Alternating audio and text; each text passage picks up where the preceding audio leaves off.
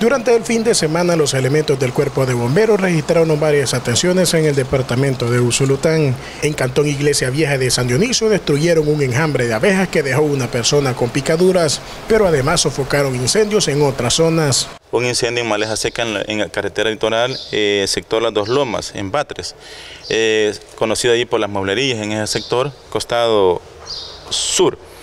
Eh, ahí prácticamente hubo un incendio en maleza donde eh, se quemaron unas dos hectáreas de, maleza seca, ¿verdad?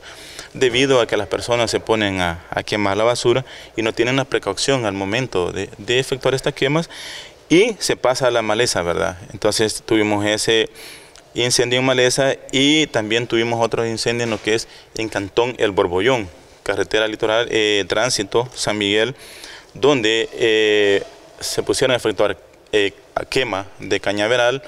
Posterior eh, se quemaron unas dos hectáreas de maleza seca y también hubieron daños en lo que es en una vivienda ya deshabitada, ¿verdad?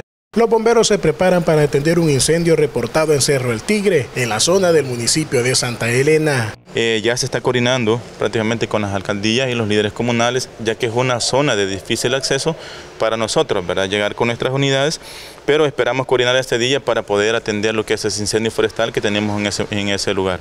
Las autoridades hacen un llamado de atención a los usulutecos a evitar quemas de basura, ya que los vientos pueden provocar que el fuego se expanda y se genere un incendio. Informó para Noticiero Sucesos Arnoldo Andrade.